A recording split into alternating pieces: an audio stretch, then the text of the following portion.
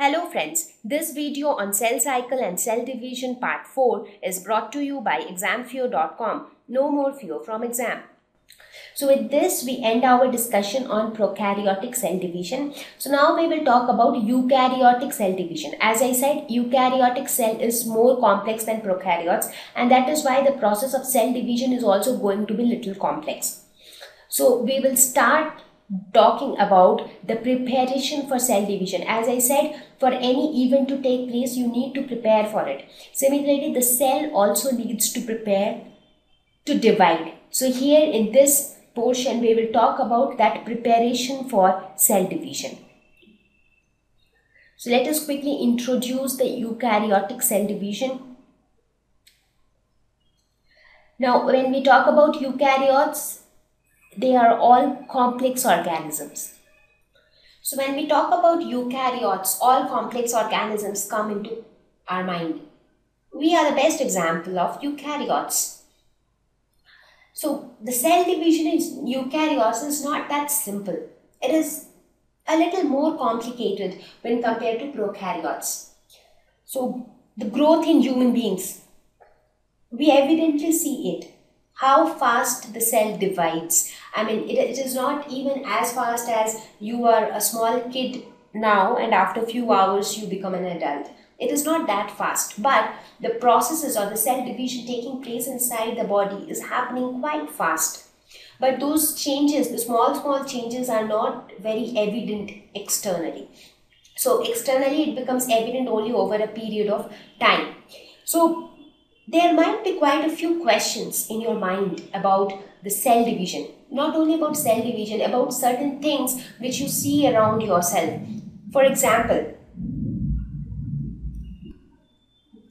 you might wonder how much time of its life does a cell spend in actual divisions. Now, as I said, there is something called cell division when the cell is actually dividing and forming new cells, forming daughter cells. But there is also some time which the cell spends to prepare for the division. So you might wonder that okay, if this is the lifespan of a cell, how much percentage of its lifetime is it spending in actual division and how much percentage of its time is it spending in preparing for the division and what is it what is it doing the rest of the time so you might be curious to know that again you might wonder how does a cell get ready to divide? I mean how does it the cell knows that okay i am now all prepared. I'm all set to go ahead with the cell division. How does the cell do that?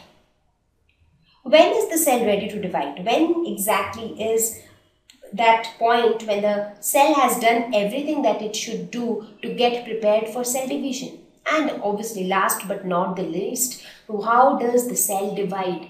So these are some of the questions that might be there in your mind right now. And this is what we are going to do right away in this lesson. We are going to answer all of these questions. How a cell divides. How does a cell prepare itself to divide? When is the cell ready to divide? And how much time it spends in actual division and how much time it spends in preparing for division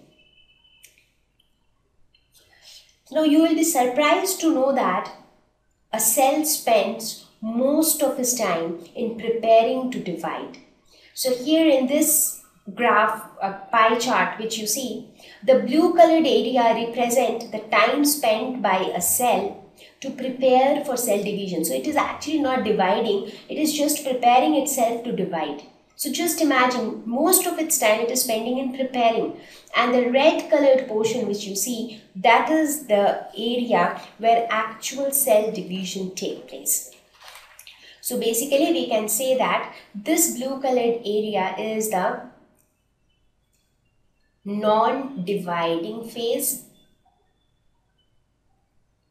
whereas the red colored area is the dividing phase. That is quite surprising, I'm sure, right? Because most of us think that cell division is most important, so the cell must be spending more time in dividing, but that is not the case. Now, this non-dividing phase is further classified. This non-dividing phase is also known as interphase. So this is the name given to the non-dividing phase when the cell is not dividing but is preparing itself to divide.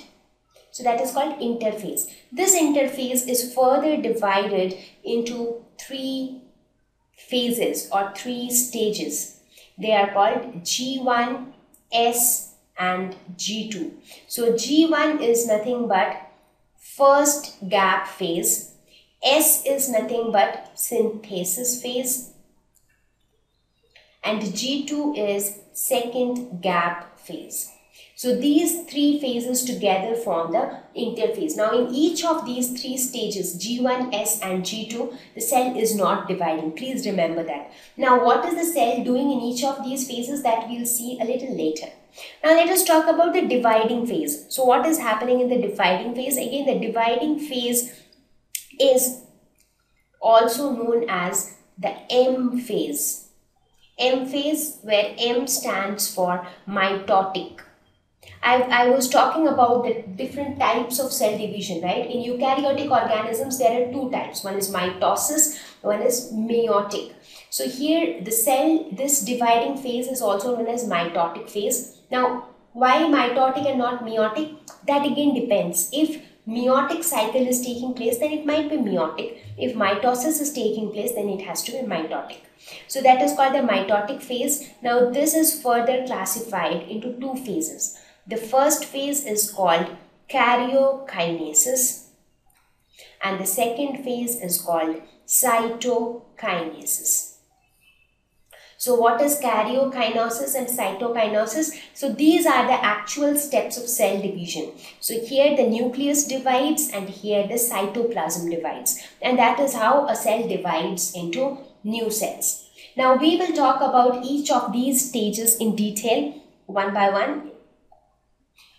So we will start with, first of all, we'll spend some time on understanding the non-dividing phase. The non-dividing phase or the interphase will actually tell us how the cell prepares itself to divide. So now that we have got this idea, we can quickly draw the cell cycle, which I spoke before. The sequence of events which tell us about the life cycle of a cell. So the cell cycle would be somewhat like this. It starts with G1 that is the first gap phase. Then comes the synthesis phase which is followed by G2. So this G1, S and G2 these three together form the interphase. This interphase is followed by mitotic phase which is again followed by the cytokinesis. Now, in some books, mitokinesis is followed by cytosis. That is how they write it. In some books, they say that this entire thing is M phase. That is the mitotic phase, which has two halves. The first half is karyokinesis and the second phase is cytokinesis. And again, after cytokinesis, the cell goes back to the first gap phase. So this is a continuous cycle. Now since this is cyclic in nature, that is the end point comes back to the original point again. So cytokinesis again goes back to G1 which was the first step. That is why it is called a cycle. That is why it is known as cell cycle.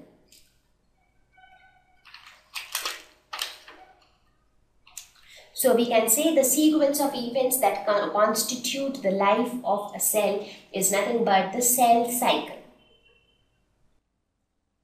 Thank you. Please visit www.examfear.com to watch more videos, attempt free online test, get free study material, find tutors and mentors. Thank you once again.